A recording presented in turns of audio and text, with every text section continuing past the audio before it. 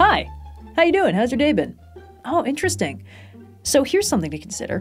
I, the person currently speaking to you and flagrantly encouraging parasociality, am not really here.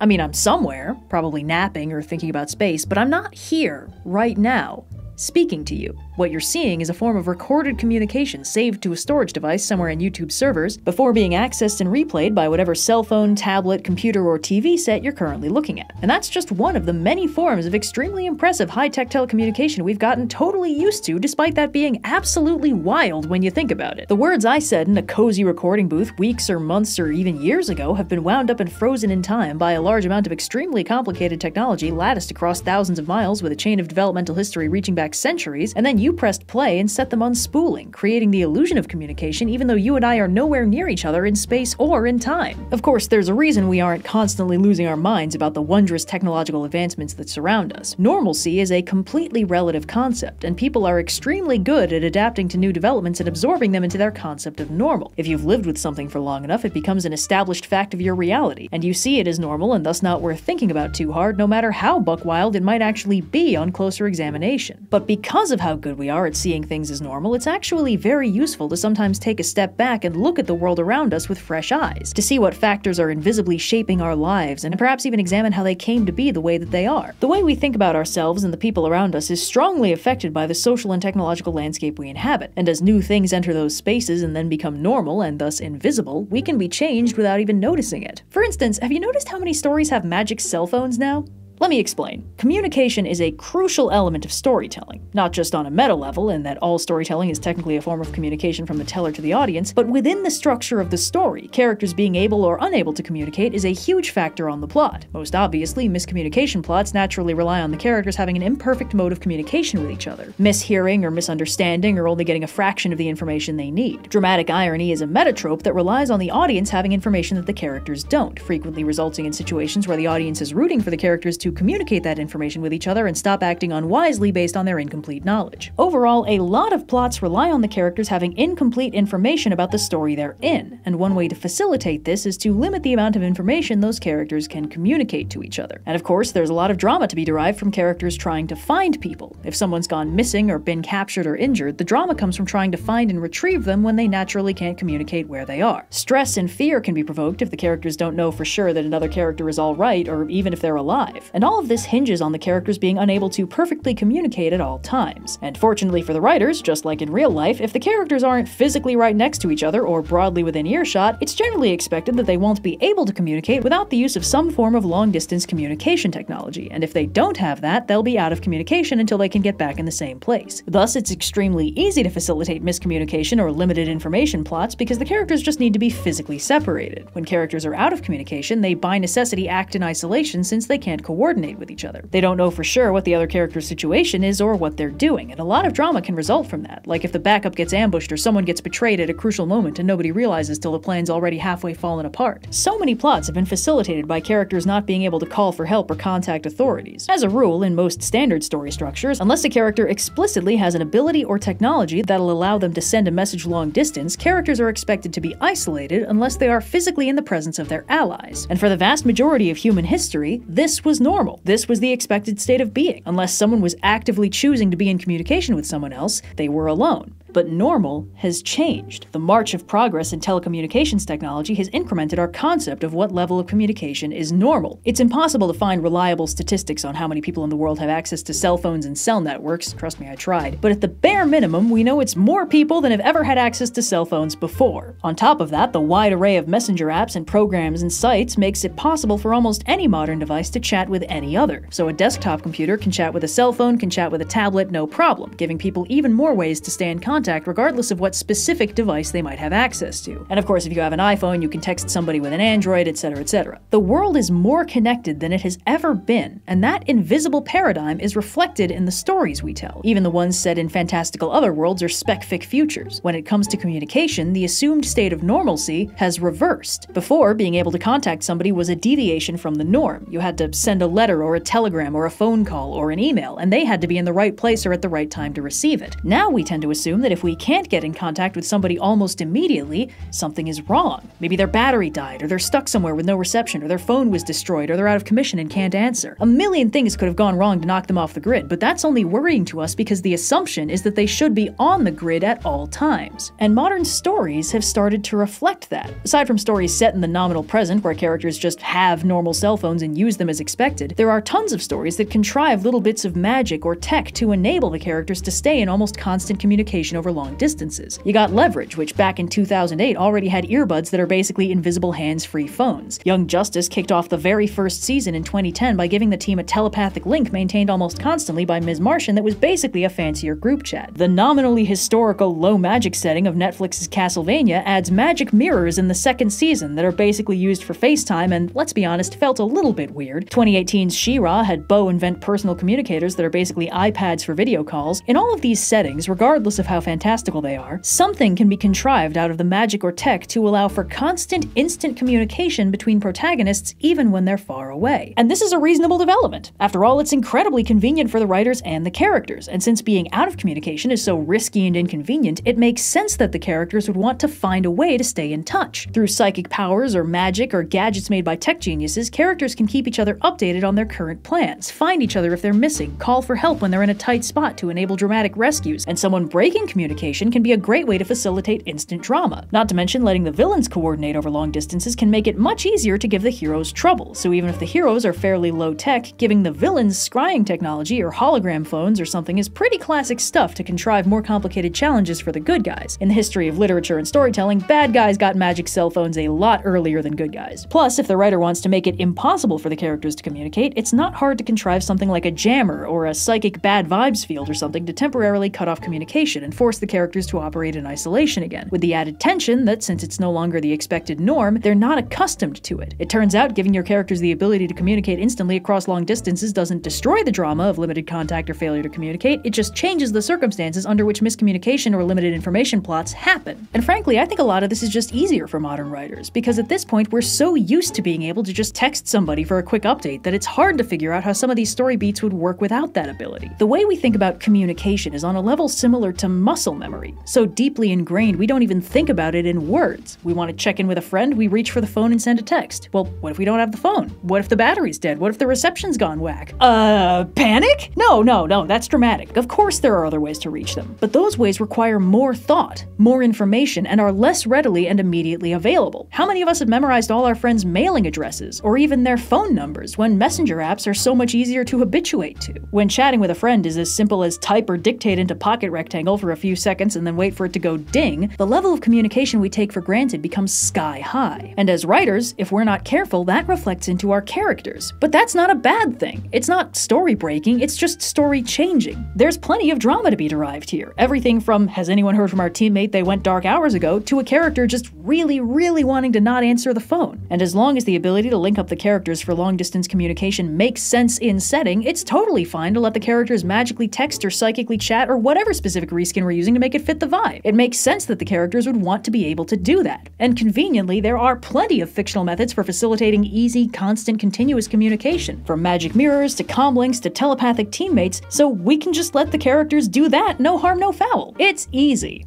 Hey, yeah, wait a second. If these stories have had that kind of plot device the whole time, how did we justify all those problems that could have been solved with the equivalent of a cell phone? Why didn't these solutions work back then? Or more accurately, why didn't we think of them sooner? Many of these magic cell phone stories are installments of long running franchises that never used those powers or that technology that way before the mid to late 2000s. When 2010's Young Justice had M'gann hook up everyone's brains for zero effort psychic group calls, it made me question why they didn't do that in 2006's Legion of Superheroes, or 2001's Justice League, or 2000's X Men Evolution, or any number of superhero stories where one of the protagonists is a powerful telepath and the team's inability to consistently communicate over long distances is a frequent source of frustration or difficulty. When the Star Wars prequels gave the Jedi tiny handheld comlinks and interplanetary hologram phone calls, it made me wonder why the entire plot of 1977's A New Hope hinges on a droid physically carrying a message through contested interplanetary space, and why in The Empire Strikes Back, Han Solo has to physically travel out into a snowstorm to find Luke before he he freezes because Luke has no way to signal or call for help. Now that we're so used to a level of ready instant communication, when we see a story that hinges on characters that are able to do that, not doing it, we notice. The concept of a cell phone is not complicated by sci fi standards. A small handheld device that allows for instantaneous audio communication with anyone else with a similar device that can optionally also instantaneously send and receive written messages. That is much less complicated, conceptually speaking, than a holodeck, and in fact has existed in fiction for a frankly shockingly long time. The first fictional wireless telephone is from 19 goddamn 14 in L. Frank Baum's Tik-Tok of Oz, another frighteningly prescient prediction. And science fiction has always involved conceiving of speculative technology and then theorizing how its existence would alter the world and the society it integrates into. Not every sci-fi author tries to predict the future, but the genre's foundations are built on the concept of world-building futuristic visions. And on the fantasy side of things, the concept of a magic mirror or a crystal ball or psychic visions are much older than the technology that developed to reflect it. Many of these stories have always had the in-universe ability to facilitate basically texting, but most of them didn't. And as far as I can tell,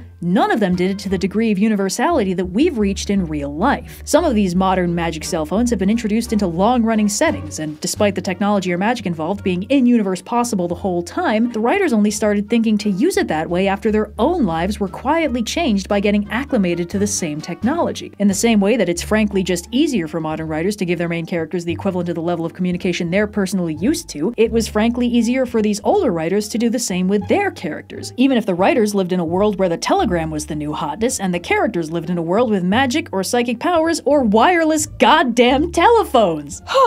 Sorry, I still can't get over that. Oh my god. Anyway, we're fine. Everything's good. The world we live in has been very deeply changed by the communication tech we currently have. It's difficult to notice because of how normal it's become, but it's a fundamental shift in the way we think about people and our ability to stay in contact with them, which is a very fundamentally human thing. You know, humans are very social animals to the point where just not speaking to other humans for a long enough time can start messing us up. I think it's very interesting that this has produced a shift in the way writers handle communication in fiction, and I think it's even more interesting that, as far as I can tell, nobody quite predicted it. Even when specfic writers conceived of a technology capable of doing what our current communication tech does, or conceived of an overall very advanced level of technology that we think it would make sense for this to exist in, they didn't extrapolate out what it would mean to have instantaneous contact with everyone in your social circle just a few clicks away, and how that would shift the kinds of stories that would or would not make sense. So I went looking through a selection from about a century of sci-fi and fantasy to see how fictional communication tech lined up with the real telecommunication communication tech from the era, and how it was used in universe versus how it could have been used with the benefit of hindsight, and correspondingly how hard it is to suspend my disbelief now that those settings didn't develop the level of interconnectedness we enjoy today. As mentioned, in 1914, L. Frank Baum wrote Tik-Tok of Oz, which features a wireless telephone that allows audio communication over any distance. As a bonus, Queen Ozma also has a magic picture that basically works like a fantasy crystal ball, letting her see anything from anywhere but with no sound. This is a huge deal, but it's actually pretty manageable on the suspension of disbelief side of things because, as far as I can tell, there's only two of these wireless telephones, and Ozma is basically the God Empress of Oz, so just because she has high tech toys to play with doesn't mean the common masses would get to use them. Oz doesn't have a robust telecommunications network,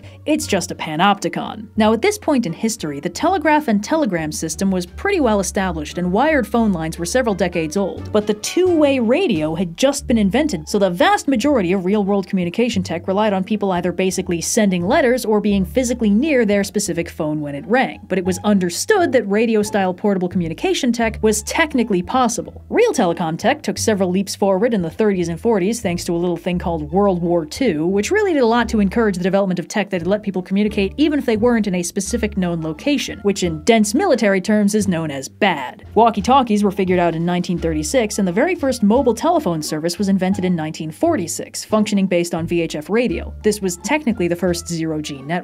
Of course, this didn't mean mobile phone tech was publicly available, it just meant cell service technically existed. This is around the time we started getting more long distance communication in fiction. In 1952, This Island Earth featured a device called an interocitor that allowed for instant video and audio communication across interstellar distances, but it was also framed as an incredibly advanced bit of technology, and the main character being able to build it signaled that he was worthy of getting roped into an interstellar war. Our old buddy J.R.R. Tolkien wrote Palantirs into The Lord of the Rings in 1954, allowing long distance scrying as well as communication, but requiring some magical finagling to work. Palantirs are also ancient relics of the First Age and are very rare and very powerful, and the vast majority of Middle Earth operates on a much more low-tech space where signal fires are the height of telecom technology. Isaac Asimov got in on the video call specfic game in 1957's The Naked Sun, where a culture of pathological introverts live their lives in total isolation from each other, assisted by armies of robot servants, and they get their human communication in by viewing each other through holography. Real world tech was taking another gradual step forward this decade, as pager technology was first patented in 1949 and developed over the course of the 50s, mostly used in hospitals until the release of the first personal pager in 1962. It couldn't send or receive calls or messages yet, but it could notify the holder that someone was trying to call them so they could get to a real landline telephone and take the call. Meanwhile, back in fiction land, Frank Herbert's Dune in 1965 envisioned a space future 10,000 years deep where humanity spread across the stars and continued killing each other in all sorts of exciting ways with a truly staggering glossary of weapons and political tools. And despite this, communication is almost entirely done through physically transporting messages, relatively short range radio, and a ridiculous piece of tech called a distrans that the Fremen use for long distance communication that imprints a coded message into the brain of a small animal that can then be decoded with another distrans from that animal's cry. This is hilarious, and I literally cannot believe that in 8,000 years of space exploration and drug induced hyperspace travel, nobody thought of a better way to send a text. This is where we start getting into the dubious suspension of disbelief zone. There are explanations we can come up with for why communications tech didn't really manifest in the Dune universe, but they're retroactive justifications for the fact that Frank Herbert didn't think of it.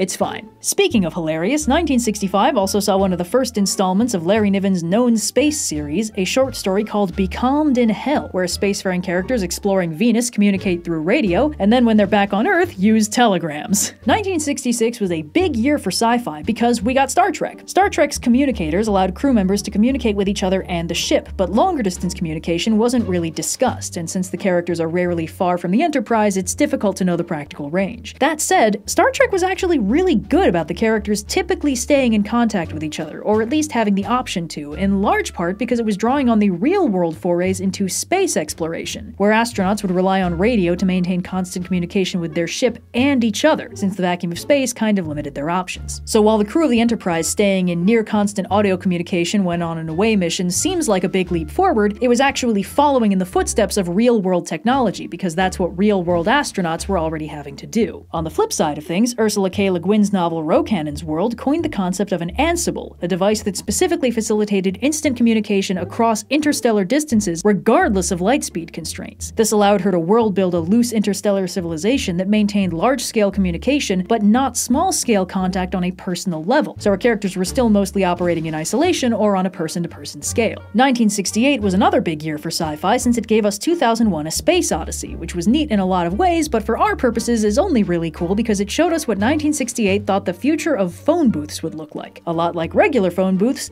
but now with video screens. 2001 shows us a brief glimpse of picture phones that allowed for video calls from the orbiting space station down to Earth. The character uses a public picture phone booth for a small fee, but is clearly calling a personal picture phone in his house. This mirrored a bit of real tech that AT&T would try and fail to launch in 1970, innovatively called the picture phone. Basically a corded phone with a small television screen on top and presumably a camera built into the chunky top part of the screen. It was a very popular idea that video calls would be the telecommunications staple of the future, but the hardware just wasn't where it needed to be to make it commercially viable for general public use, and of course if the person you were talking to didn't also have a picture phone, there was really no benefit, so it flopped pretty hard. 1969 was an even bigger year for sci-fi because it saw the real, actual moon landing. This is a great milestone for humanity overall, and an even better milestone for us because it involved a whole lot of long and short-range radio transmissions. It was a huge inspiration for sci-fi writers, and it highlighted the growing understanding that, on a theoretical interplanetary scale, radio was a less than ideal method of communication. Because radio waves are a form of light, therefore radio is limited by the speed of light, and thus even just going as far as the moon produced a delay of 1.3 seconds. Even the sun's comparatively short distance of 8 light minutes meant that going that far would make instant audio communication impossible, and it would prevent mission control from helping the crew in the event of a time-sensitive crisis. A single transponder was all that was keeping the lunar module in contact with mission control back on Earth, and the communication was spotty, possibly because the computers running the whole thing had less oomph than a TI-84 calculator. And whenever the command module orbited behind the moon, it lost all radio contact with the Earth because the moon was in the way, temporarily making astronaut Michael Collins the most isolated human being in the universe. In short, while it was definitely the coolest thing our species has ever done, it signaled why we'd need to be a lot higher tech before we could practically speaking get any farther. This would encourage sci-fi writers to develop spec-fic technology that could expand on the current level of communications technology and account for this weakness, similar to Le Guin's Ansible, something that would allow for that kind of interstellar communication without that sort of delay. Amazingly, a pretty good indicator of where communications tech was at in the real world can be found by watching Columbo, which began in 1968 and technically ran up till 2003. As the villains of each episode are typically extremely affluent, many of them have access to real-world cutting-edge technology that's often instrumental to their murder plots and their eventual capture, making some of these episodes borderline techno-thrillers, featuring everything from an interconnected landline phone system in a government building in 1973's Candidate for Crime to a cutting-edge fax machine in 1990's Agenda for Murder to a high-tech pager that allowed short texting in 1990's Columbo Cries Wolf, and finally a cell phone in 1994's Butterfly in Shades of Grey, where Columbo spends the first part of the episode lamenting his confusion of these newfangled cell phones, and later catches the killer in a lie when he claims he made a 911 call from the road outside his mountain home, an area that Columbo confirms has no cell coverage. But for most of the series, communication is landline only, and when Columbo needs to make a call, he typically just turns up at the killer's palatial estate and amiably borrows their home phone. Just like in the real world, even if more advanced options did exist or were being developed somewhere, they weren't common until the late 90s, and they didn't start infiltrating the way we perceive normalcy until even later. Another surprisingly useful indicator is, of all things, D&D. Dungeons & Dragons is a full-on fantasy setting with a very broad magic system with pretty loose parameters for what is and isn't possible, most of it based around things players would want to do. And if you're a fan of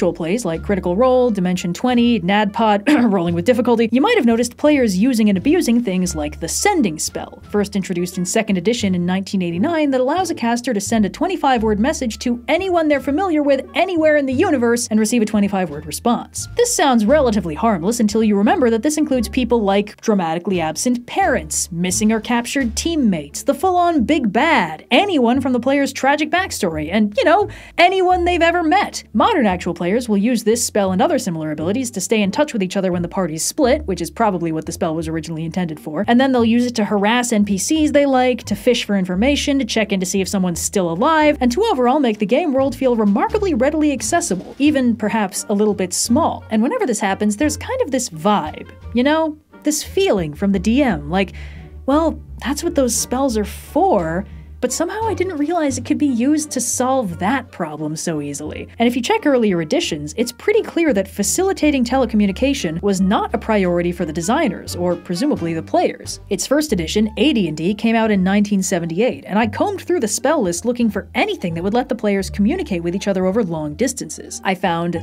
three things. The message spell, which lets a caster whisper a message that travels in a straight line to the person they're pointing at, so its long distance applications are very limited limited, the Magic Mouth spell, which programs an object to grow a mouth and state an up to 25 word recorded message when a condition is met, and a DM's guide only rule set about magic mirrors and crystal balls that allow for one way scrying, basically just so the bad guys can spy on the good guys, because AD&D was basically just stealing everything possible from Lord of the Rings, so of course they wanted to put in Palantirs. 1989's AD&D 2nd edition came out six years after the first commercially available cell phone, and added a couple more communication options like Whispering Wind, which let the caster send a message to a location, not a person, so basically like calling a landline phone, Magic Mirror, which let the players get in on that crystal ball scrying action, and Messenger, which let the caster attach a note to a willing tiny animal. All these methods of communication were very limited and one way, except for the new 5th level wizard spell Sending, which as mentioned allowed a 25 word message and response to and from anyone the caster was familiar with. Since the material component for this spell is literally two cans connected by wire, we can safely conclude that this is indeed intended to be the magicification of a garden variety phone call. Sending stayed on the spell list through editions 3, 3.5, 4, and now 5, with its true potential apparently only being explored recently. It's not like any old Joe can cast it, but it's common enough, long range enough, and difficult enough to block or intercept that it can undercut a lot of classic dramatic concerns. And it really seems to me like nobody thought of this application for it until recently. Other abilities that could do more flexible long-range communication first started appearing in the early 2000s with 3rd edition, like Rary's telepathic bond, aka psychic group chat, sending stones, magical artifacts that worked like paired walkie talkies but could only send a 25 word message once a day, MindLink, a psionic ability that allowed for wordless long range communication, and honestly just a whole bunch of other random wacky abilities that can break the game in new and exciting ways. D&D is a very high magic setting, the potential for this stuff was always there, but it looks like it only started to make sense for people to use it this way recently. Heck, now players will even use those artifacts for a lot more communication than rules as written technically allow for. Most parties just use sending stones as unofficial cell phones now instead of them just casting one 25 word message per day, which is all they can technically do. And most DMs don't stop them because it just makes sense for them to work that way. Now, the 90s overall seem to have been a slightly transitionary period for fictional communications tech. Some stories jumped way ahead and made it really easy, while others seemed a little bit slower on the uptake. Ghost in the Shell came out in 1995, and every main character was a cyborg who could effortlessly chat brain to brain with each other across long distances, or use the same abilities to eavesdrop on other people's shenanigans, which makes sense for a story that's fundamentally exploring the nature of connection and isolation in relation to humanity. But 1997's The Fifth Element, set in the 23rd century, kept all the phones as functionally landlines despite the receivers being small, cordless, and handheld. It's a running gag in the movie that the protagonist's mother keeps somehow calling the nearest phone wherever he goes, a joke that only makes sense if the phones themselves are not portable. That same year, Earth Final Conflict started airing, set in the near future, and everyone in that show has a handheld collapsible picture phone. Again, just a slight extrapolation into the future, where video calling technology would surely sweep the globe. The world was getting more interconnected, and it was showing through in the stories it made sense to write. But we only really start noticing that when we compare it to the spec fic that came before, that didn't have this invisible context, this normalcy that was slowly taking form. We wonder why science fiction writers didn't think of this stuff sooner, because it seems so simple to us. Of course we can just send a message instantly to anyone we know anywhere in the world, and of course they can respond as soon as they see it. And if we suddenly can't do that because of bad internet or no reception or a tech failure, we feel weird and constrained, almost like a phantom limb reaching on reflex and finding nothing there. As one of the youngest millennials, I grew up alongside the last stage of development of modern computers and the modern internet. When I was very little, computers had successfully miniaturized beyond giant room size, but were still boxy, clacky numbers with almost no processing power. And the internet was a wild west of cool math games and Nitrome and I Can Has Cheezburger and 5 million tiny fanfic forums that we were of course not allowed to access in class and therefore definitely never did. And every few grades, the school upgraded to a new set of computers to work on, starting with those smooth, translucent, fruity 2000 iMacs and eventually moving up to those shiny white plastic iBook G3s. My school had policies against kids carrying those newfangled iPods, no matter if they were the old version with the circular scroll wheel or the tiny iPod shuffle with no screen and no buttons, and a couple of the really fancy kids with really fancy parents even got Blackberry phones later in the game. The iPod Touch and the iPhone came out when I was 11 and they completely changed the game. Smartphones were the new hotness, everything was now touchscreen or bust, and everyone I knew was getting one. By the time I hit high school, the official rules had slackened a little, kind of out of necessity, because at that point almost every kid I knew had a cell phone and a parent behind them insisting they keep it on them for safety reasons. Because it turns out it's really convenient for a parent to be able to always contact their child. So the school ruled that no phones or iPods out in class, but they could be used at lunch or on a break. Meanwhile, in the background, cell coverage got broader, screens got higher res and much less breakable, social media began to take form and encourage a lot more online communication. Texting had been integrated into cell phones a while back and was technically still a thing, but secondary apps for messaging also started popping up all over the place. FaceTime was an unreliable mess at launch, but now that so many people had at least one device with a camera, a screen, and an internet connection, the dream of the picture phone finally became a reality with easy instant video calls, to which most people said, could you maybe just text me instead, and moved on. Ah, rip the picture phone, died a thousand ignoble deaths only to be silently and namelessly absorbed into the functionality of every chat room that outlived you. Anyway, by the time I went to college, my friend group that was about to scatter across a half dozen states had an active group chat that kept us in contact in semi regular video calls all four years. I almost can't imagine how I would have handled the transition without that. The narrative of going off to college that we'd all heard was so centered on leaving home and being alone, and in the more depressing cases, losing contact with your old friends. And with the connectedness we'd all gotten accustomed to, just none of that happened. Heck, when the pandemic hit in 2020, I think everyone was a little surprised how readily the tech we'd built up facilitated things like working from home and distance learning and just keeping in contact with friends and family. But it also highlighted how physically distant a lot of us were from our close friends now, how much we'd been relying on that telecom stuff to stay in constant contact between visits anyway, but at the same time, how unexpectedly tough it was to handle that when we had to rely on telecommunication stuff for all of our socialization. This level of interconnectedness became became normal without anyone really noticing, but then we were surprised to notice how much it had changed. Some of the things that we were expecting to be problems, that we were bracing for out of habit, had been quietly fixed just by the shape of the world changing in a way that left us almost unable to conceive of any other way things could be.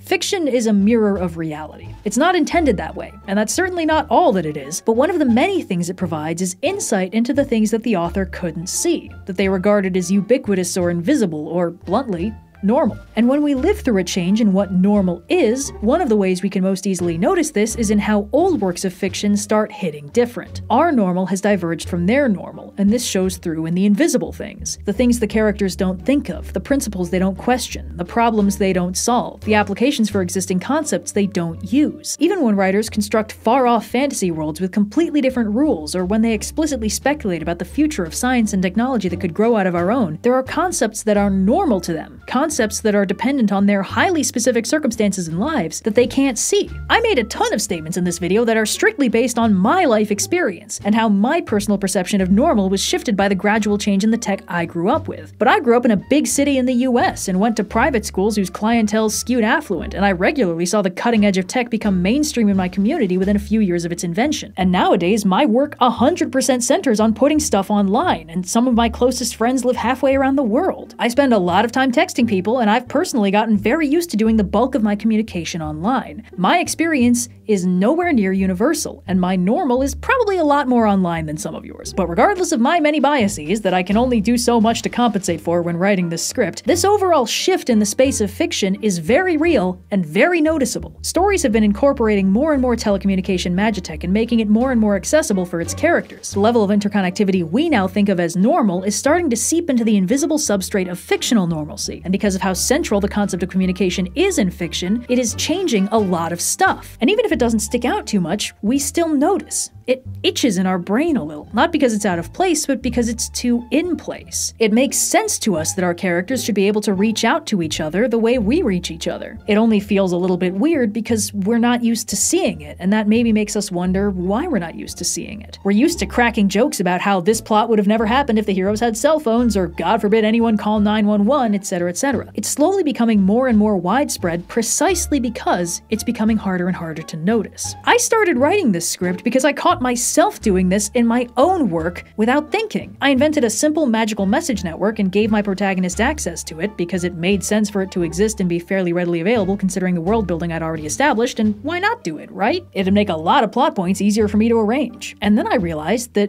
without even thinking about it, I'd made it a lot harder for myself to write a ton of those nice, comfortable, tropey plots that rely on the characters being out of communication. And then I started questioning where this disconnect in my creativity had come from, why it was so easy for me to create this plot device without even thinking about it, and only then noticing the enormous consequences of introducing that level of interconnectivity into my otherwise largely low tech fantasy setting drawn from all my most beloved fantasy tropes that were invented back when the cordless telephone was science fiction. This is so weird to me. I, I didn't want this script to be twice as long as my usual ones, but I couldn't get this out of my head. And this is just the main rabbit hole. The fact that social and technological norms invisibly infiltrate the fiction of its era, even if that fictional setting is completely divorced from reality, is a hugely hugely interesting space of analysis at the root of everything from tokenized stereotypes to media aging poorly, to how storytelling has always been intrinsically political, to about half the arguments of death of the author. And because we lose sight of what defines normal as it becomes invisible to us from overexposure, it can be a bit shocking when we catch sight of something in the mirror of fiction that's shifted without our noticing, something that we've lost context for, or something that's taken on new meaning from real world developments, or something we're used to seeing handled or solved in a way that didn't exist when it was written. The world changes we change, and because normalcy is entirely relative, we don't always realize how much things have changed until we catch a glimpse of what's become invisible to us.